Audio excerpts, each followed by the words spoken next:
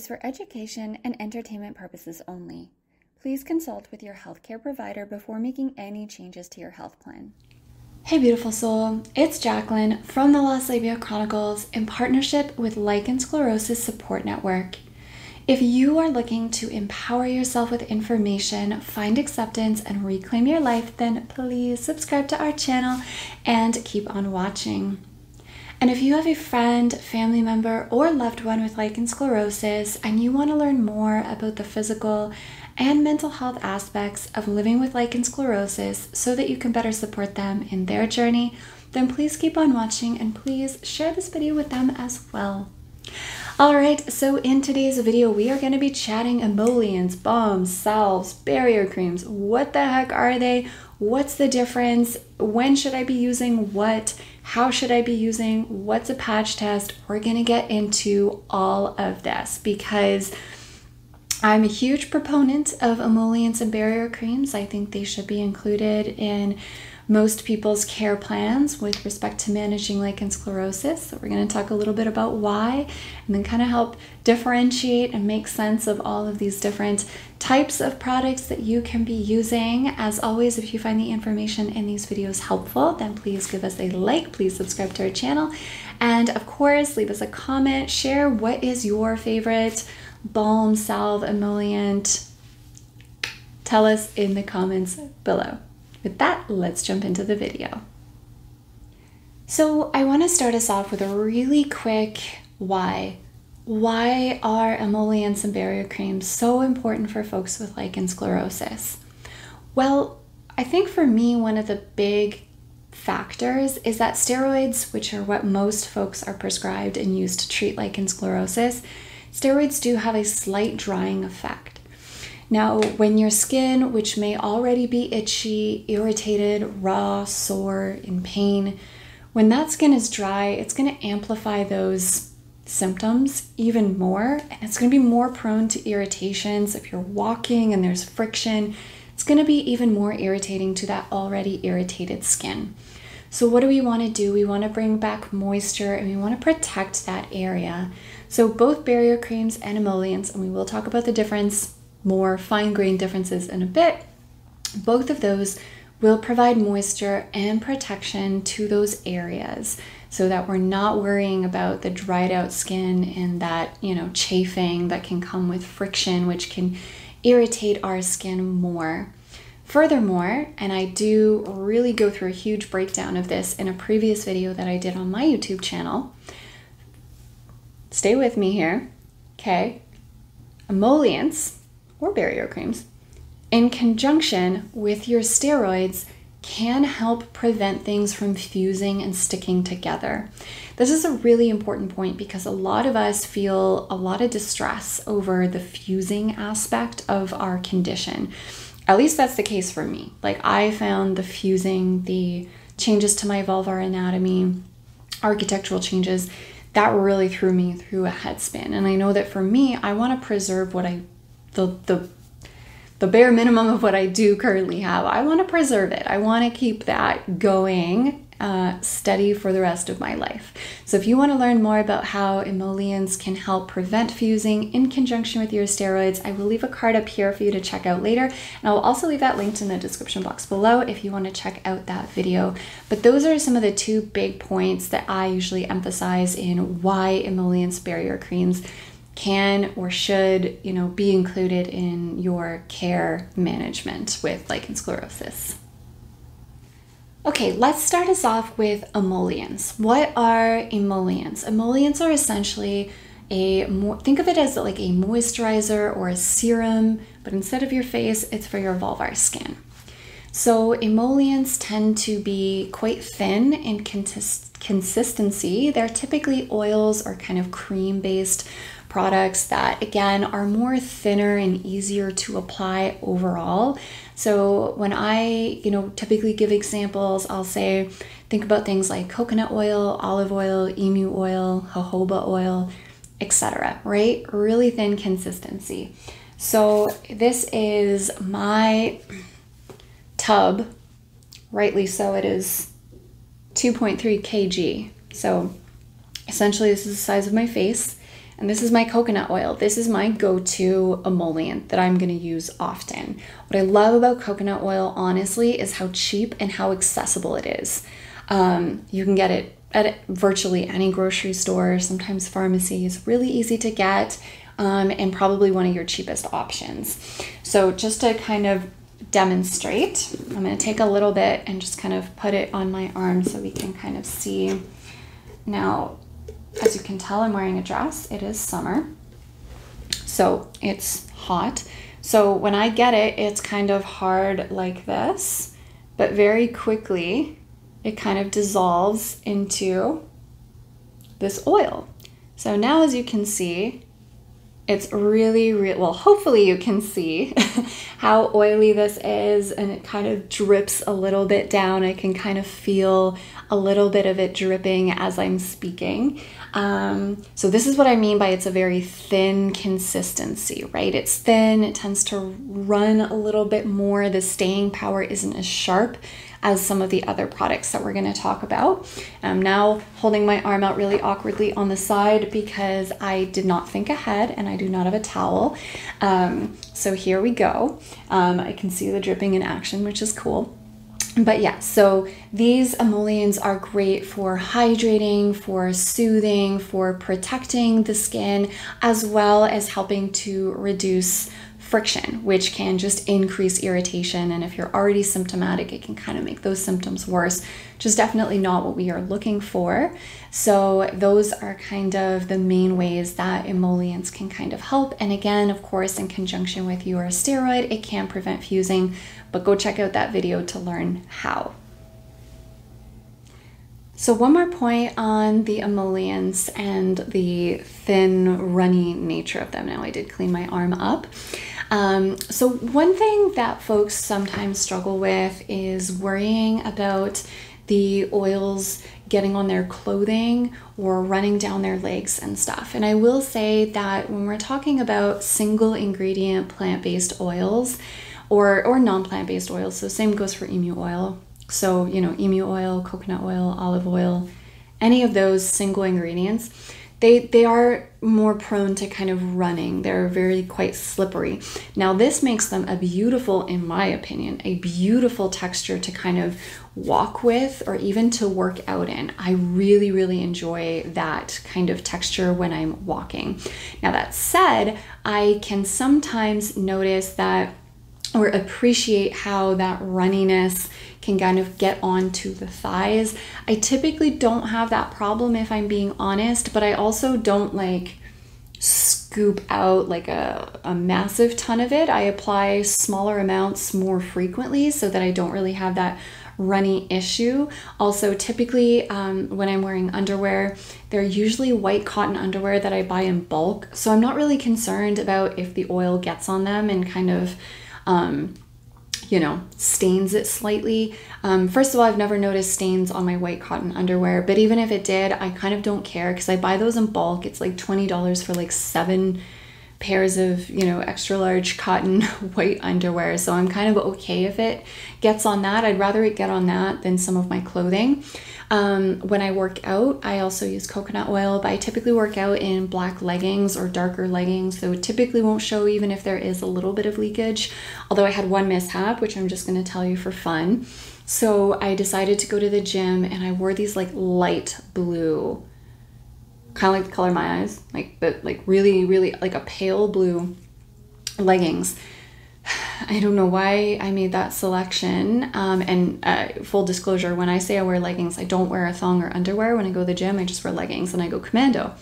So I did this and I took an extra amount of coconut oil. I don't know why. I think it's just what I happened to take out of the the container that day. Um, and yes, by the way, I did wash my hands prior to taking it out. Just for any folks that are like, hey, did you wash your hands? Yes, always wash your hands.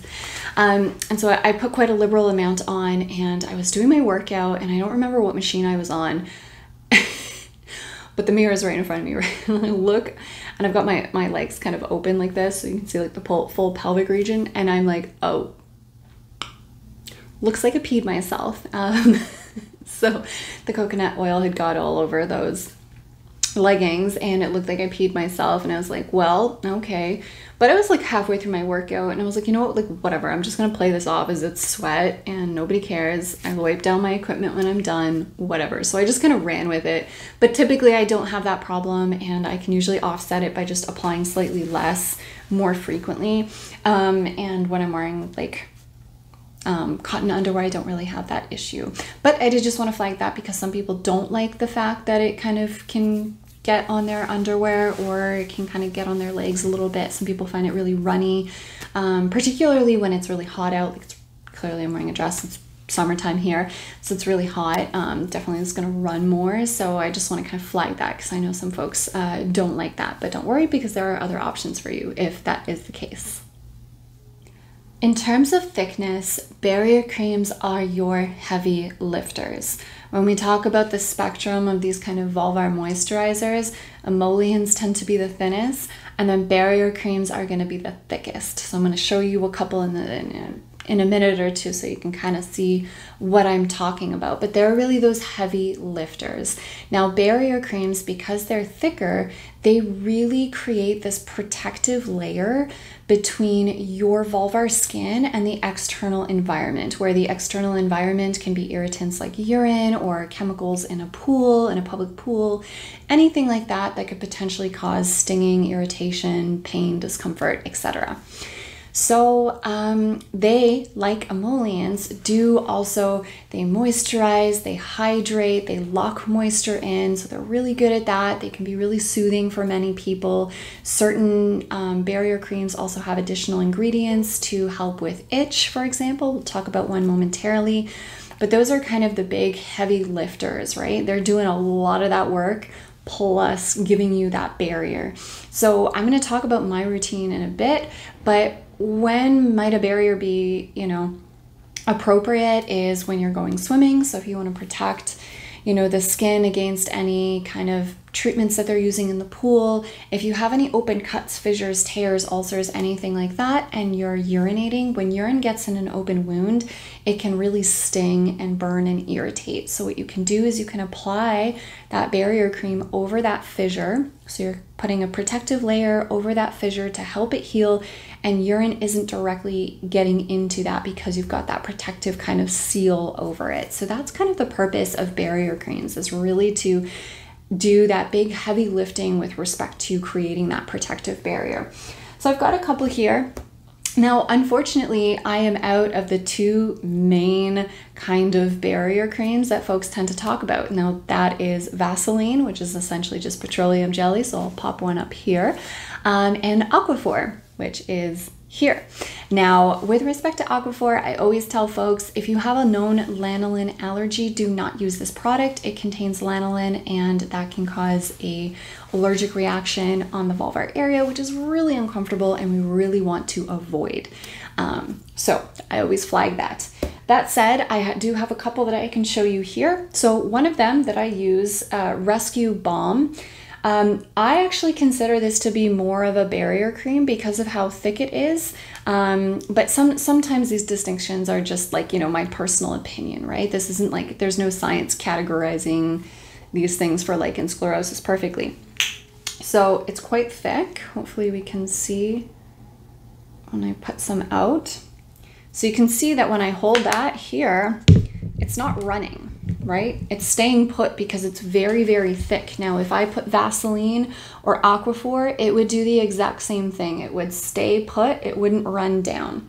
So then when I'm applying it to my arm, it's a very nice, thick, but very soft. Like it's thick, but it's very, very soft, very luxurious feeling, right? And so again, as we can see here, it's not running. So again, it's thicker, it has more staying power, and it's creating more of a barrier. Like if we put it a bit over my tattoo, you can kind of see it cover the tattoo a little bit. Um, so unlike the coconut oil, which would slowly kind of run a little bit more because it was thinner in consistency, this really stays put. I also have another product. It's actually by the Eucerin who makes Aquaphor, but this isn't their um, traditional healing ointment. This is actually a diaper rash cream that I sometimes use when I get fissures in the perianal area. So this you'll see similar to Rescue Balm. very similar. They both have zinc oxide, which is why it's got that white consist uh, color. And again, let's put it kind of right next to it, I guess, here. Again, very thick, but very luxurious, and it stays put right? And so again, if I were to put Aquaphor and Vaseline, they would also be thick and very much staying where I put them. So this can be nice for folks who do not um, want things to kind of leak or run down their thighs. Um, that can be a really good option for you if you're somebody that does experience that. Um, and again, that thickness really does help create more of a barrier. Now, what's nice about uh, Sweet Spot Labs Rescue Balm, it doesn't just have zinc oxide, but it also has oatmeal and other active ingredients in it that are meant to help with itchy skin, itchy, irritated skin, and really soothe and calm the itch. So, again, you know, that's why when I have fissures or tears, if I'm really um, feeling more irritated, this one is my go to absolutely hands down is my go-to.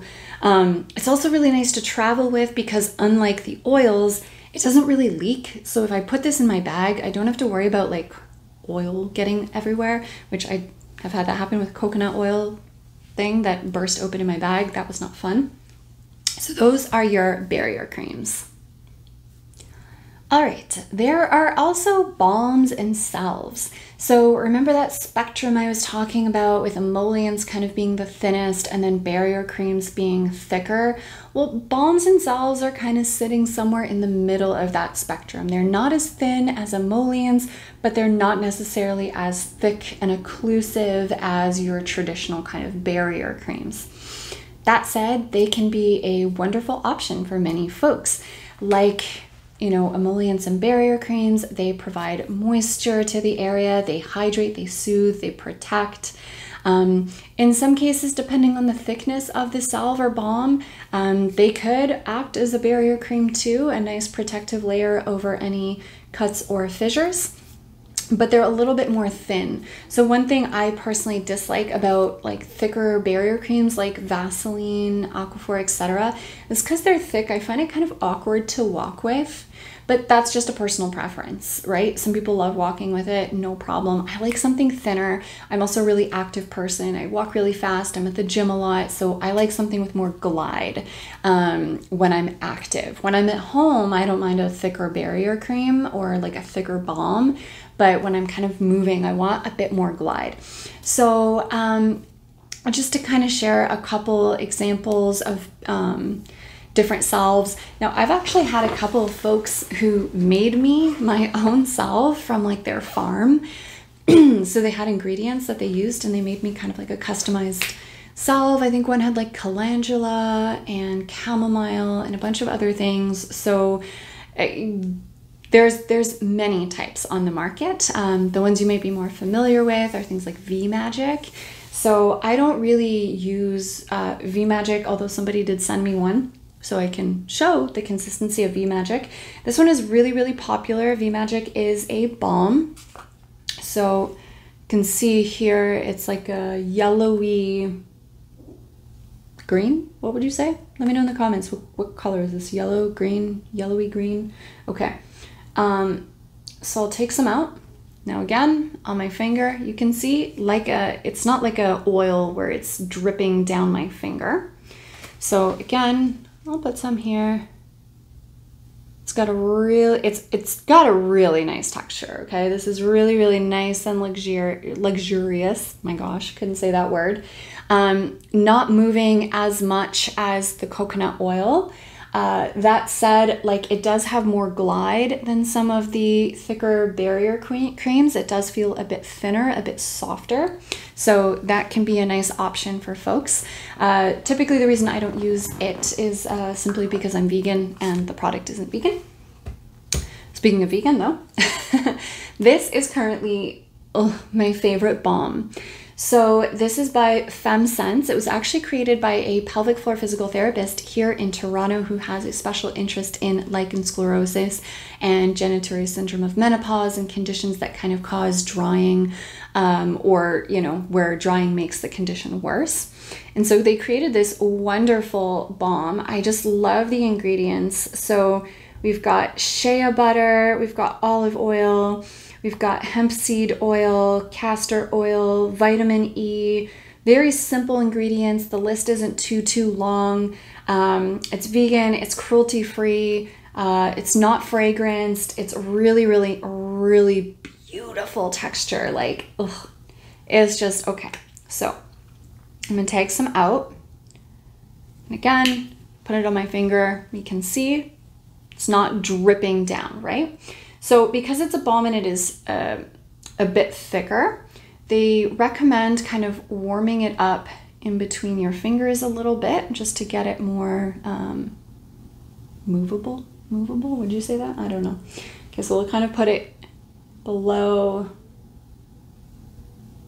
the Vmagic. This one's kind of harder to see. It just looks like my arm is shiny, which is fine. Um, so it's very shiny, um, but it's transparent. The Vmagic, it's hard to tell with the camera, but you can see a bit of like the um, yellowy greeny color, whereas the FemSense is just completely translucent.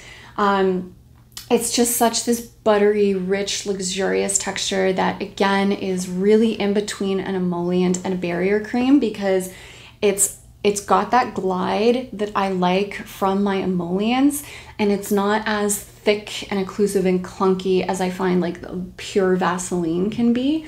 So that's why I just, it's just a dream to use. I absolutely am in love with the ingredients. So this has very quickly become one of my go-to products. If you do want to check it out, um, I will leave a PDF um, in the description box below for you to kind of learn more about the product. And then um, I will have my discount code in the uh, description box below, of course, as well, if you want to use my discount code to get a little discount on this product. Um, another one I wanted to mention is Momotaro Salve. Um, I don't personally have a discount code for that, but Celina Gomes, who is a sex educator with lichen sclerosus, um, Celina does have a discount code, so I will leave her discount code in the description box below if you want to check out that salve. I haven't personally tried it, but again, salves have a really nice, luxurious texture, and they're usually kind of in between um, emollients and barrier creams. All right, so I'm aware that I am a chatty person, so I'm gonna try and make this more concise. I'm gonna pop up a spreadsheet on this video, okay? Feel free to take a screenshot if you want. This is just a really simple, easy, concise way of kind of knowing what does what. All right, so emollient. It moisturizes, it soothes, stays in place. I put sometimes it can have a tendency to run, sometimes especially in the warmer weathers. Um, protective barrier, not as much as a salve or a barrier cream that's thicker. The, the protective barrier that it does have is gonna be much thinner compared to balm salves and barrier creams. All right, let's move into the balm. It moisturizes, yes. It soothes, yes. Stays in place sometimes. Again, it has more glide than a barrier cream. So it kind of has the, a bit of a glide that an emollient would have, but it stays in place a little bit better than a traditional just pure oil one ingredient emollient. Um, balms and protective barriers, um, sometimes, again, it's not always as um, sharp, as strong as a barrier cream, but because it's thicker than the emollient, it does have a bit of a protective bar barrier, so that can be quite nice for folks. Um, and then finally, uh, barrier creams, yeses all the way through. So barrier creams moisturize, they soothe, they stay in place, and they do create the most optimal protective barrier for your vulvar skin. Now, in terms of um, transfer, we talked about like running, but I also want to briefly talk about uh, color. So, just so you know, full disclosure, these products that are white with zinc oxide, some of that whiteness might go on your underwear. If you're going commando, that can get on your um, your pants or your dress. I've never really had an issue with that beyond my underwear, um, and it washes out quite easily. But I just full disclosure, there can be some white kind of staining that you might need to wash out of your clothing. Um, Vmagic because it is this color. Um, if you're wearing white underwear, that some of that color can go on the underwear a little bit. Um, but most of these are transparent, like the FemSense Balm is completely transparent. So again, you know, not not really gonna stain much in that sense. I've never personally I've never had any issues. I should say that because sometimes I don't have an issue, but somebody else does. So just full disclosure, I haven't personally had an issue with that. So I just wanted to also say a little piece about the color of your balm and how that can show up potentially on your underwear. Okay, how often should you be applying these products? Honestly, for this one, I say use it as much as you need. Um, and the more you use it, the more you're going to get kind of in tune with your body and your body's needs. So, what do I mean by that? When I talk about emollients or balms, which is what I'm going to use most of the time, um, I use that anywhere from two times to like six, seven times a day. So, on a day where I'm just going to be sitting at my computer, I'm more likely to just use it twice a day because there's not going to be a lot of friction and it's just kind of staying put. But for days that I'm going to be really active, like if I've if I'm going to the gym and then I'm running some errands, I know I'm going to be moving a lot, there's a lot of friction, then I'm going to apply it more. Um, with fissures or tears, anything like that, because I was really prone to a lot of tears and fissures. Then, when I have tears and fissures, I'm moving away from my emollient and going more towards balms, salves, but probably again more of the barrier cream proper. And then I'm going to apply it um, in the morning, and then I'm going to apply it before uh, or before and or after I urinate because that's usually what irritates me most is the urine getting into those open wounds. So before and after I urinate is when I'm going to use them. Of course, the other time I would use a barrier cream would be if I'm going to go swimming. So that's when I would use those. So a little bit more frequently because of like the bathroom situation, right? Just to keep that protective layer there and keep everything, you know, happy and healthy um, so that it's got like this optimal stage for healing to occur. And um, I basically intertwine coconut oil in my FemSense um, balm now is my daily. So again, two to five times a day, two to two to five, two to six. You know, I play that kind of by ear, and then with fissures, I just make sure that I'm really protecting before and after I go to the bathroom, and then definitely before I go to bed, and then definitely if I'm going to be really active or walking, I'm going to really load up on that. Just want to touch really quickly on these products and steroids. So, a lot of people wonder can I use this right after I use my steroid, or do I have to wait? What's the rule? So, there is no concrete rule, right? I've never seen in any medical journal any kind of studies looking at like absorbency in all of this with respect to steroids and emollients or barrier creams. But what I will say is that I've spoken to quite a few dermatologists and gynecologists on this question, and they all tend to tell me the same thing, which is, you know, in general, a rule with steroids and other topicals is just wait 30 minutes in between application. So if you put your steroid on, just wait 30 minutes before applying another topical like a barrier cream, or if you have um, hormonal topicals, if you have a pain topical, if you're using lidocaine, anything like that, just try and give the steroid about 30 minutes to kind of let that medication sink in and absorb. That said, um, another thing that folks find sometimes is that actually cutting their steroid with a little bit of barrier cream or emollient really helps them. So, for folks that are a little bit more that experience a little bit of discomfort when applying their steroid, they find that it becomes more comfortable if they cut it with a little bit of like Vaseline or coconut oil. Um, Dr. Krapf gave a talk a while back saying that's perfectly okay to do if that makes you feel comfortable and if that's what's going to make you use your medication, then she's okay with that. Um, most steroids do come with our kind of own built-in moisturizer though. So my clobetasol uh, is in petroleum jelly, which is Vaseline um, which is a barrier cream. So for me, I apply my steroid right before I go to bed. I don't really apply a moisturizer after because I see the clobetasol as kind of having that built-in moisturizer for the night, and so I'll just start moisturizing the next day. But honestly, that that one's up to you. Okay, last big point that I want to touch on is the importance of patch testing any new topical product that you're going to put on your vulva, regardless of if it is a balm, a salve, an emollient, etc., a pain topical, anything like that. Always patch test your product first. I'm going to use Sweet Spot Labs here to demo what I mean by a patch test. So, patch test involves taking a really small amount of product. So I'm just taking a teeny little bit on my finger instead of, you know, I maybe would have squeezed out a lot more if I was going to apply that everywhere to my vulva. So I've got this teeny amount of product on my hand to patch test. Let's pretend that this whole palm here represents my whole vulva. So normally when I would apply an emollient, a balm, anything like that, I would go in and cover that whole area, right? I would make sure everything is nice and hydrated and protected. But that's when I know that a product is good, safe, and healthy for my body. Let's pretend this product is new. I could have an allergy to an ingredient in this product, which means that if I put it on my vulva, I could have an allergic reaction where my vulva is going to turn red, red, red, and it's going to swell up, you know, those kind of obvious signs of an allergic reaction. So, to help myself know if I'm going to have a reaction, or if I have any sensitivities or allergies, instead of putting it all over the vulva, I take just a small amount and I choose one part of the vulva. So I'm to just put it here.